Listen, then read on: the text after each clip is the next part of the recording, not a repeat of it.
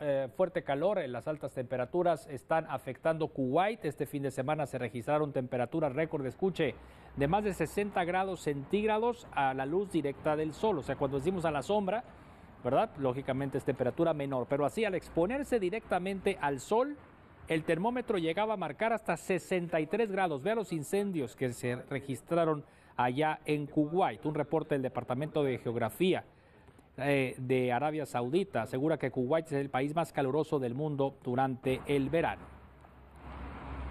¿Y ahora qué nos espera aquí para los próximos días? Sí, pues otra ola de calor y eso que todavía no comienza oficialmente el verano.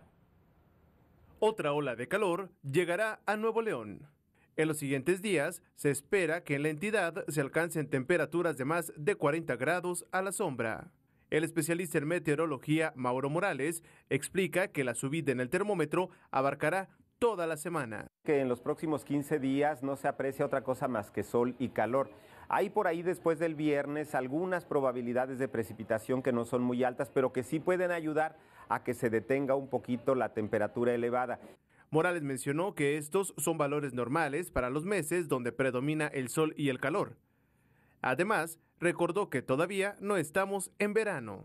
Apenas este viernes va a iniciar el verano. Apenas este viernes vamos a iniciar junto con el solsticio la temporada de mayores temperaturas y todavía nos falta pasar la canícula que empieza hasta el 14 de julio.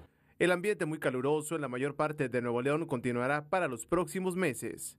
En julio hay una estabilidad donde no se presentan precipitaciones y es hasta agosto cuando cambian las condiciones. Entramos en julio en una etapa de una gran estabilidad en donde llueve muy poco, en donde ya en agosto comienzan a desarrollarse algunos chubascos en la tarde y ya después entramos en septiembre en nuestra temporada de lluvias y ahí es donde ya baja la temperatura de una manera muy eh, eh, pues, sustancial. Ante el calor que se espera para los próximos días, es importante que tomemos precauciones para evitar deshidratación, golpe de calor y demás condiciones que se presentan por las altas temperaturas. Hugo Aranda Tamayo, Noticieros Televisa.